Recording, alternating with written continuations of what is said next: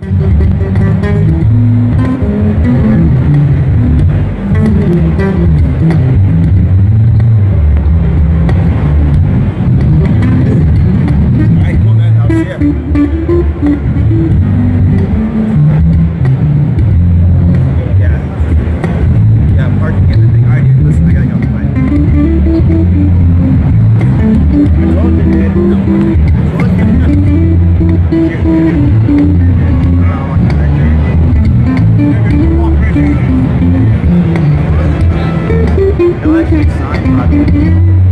Actually,